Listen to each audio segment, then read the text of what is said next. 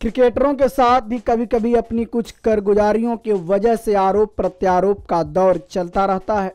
बता दें कि इंग्लैंड एवं वेल्स क्रिकेट बोर्ड ईसीबी ने बेन स्टोक्स और एलेक्स हेल्स पर पिछले साल रात में नाइट क्लब के बाहर घटी घटना के संबंध में खेल को बदनाम करने का आरोप लगाया है।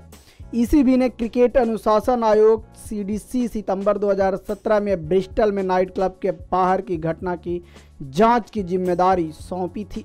प्रत्येक खिलाड़ी पर ईसीबी के नियम तीन दशमलव तीन के उल्लंघन का आरोप लगाया गया है, जिसमें कहा गया है कि कोई भी खिलाड़ी कभी ऐसा व्यवहार नहीं करेगा जिससे ईसीबी क्रिकेट खेल या क्रिकेटर या क्रिकेटरों के समूह की बदनामी हो। नेक्स्ट नाइन स्पोर्ट्स से वरुण की रिपोर्ट।